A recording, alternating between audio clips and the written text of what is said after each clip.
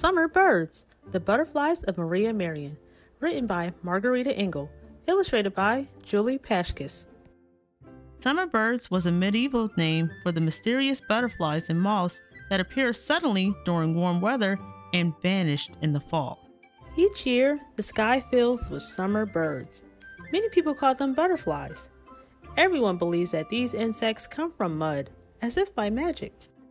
I disagree. I am only 13 years old, but I capture insects. I study them. I have to catch my insects in secret. Neighbors would accuse me of witchcraft if they knew. Everyone says insects are evil, but I know my summer birds are beautiful and harmless. I keep caterpillars and summer birds in boxes and jars.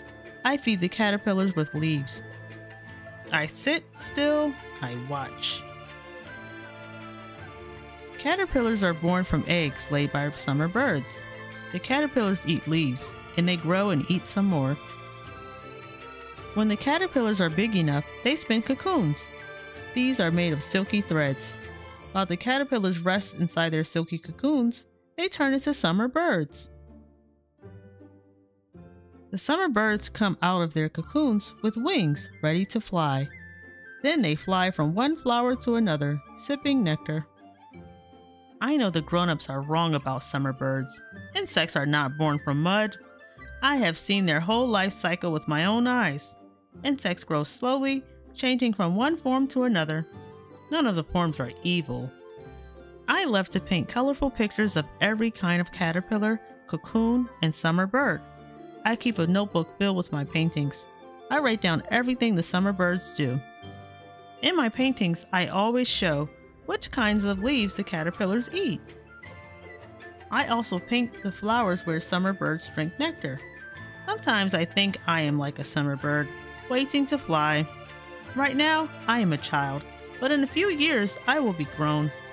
When I am a grown up, I will be free to travel to faraway lands, painting all sorts of rare summer birds and flowers. Pages only illustration. Maybe I will even paint the lizards and frogs of faraway lands. I have some tadpoles in a jar of water. I have seen how they are born from eggs, not from mud. I watch the tadpoles eat and grow until finally, when they are big enough, they begin to grow legs. The tadpoles have turned into frogs. Someday, I will put my paintings into a book. Then everyone will know the truth about small animals that change their forms. When people understand the life cycles of creatures that change forms, they will stop calling small animals evil. They will learn, as I have, by seeing a wingless caterpillar turn into a flying summer bird. There's a historical note. Pause and read here. The end.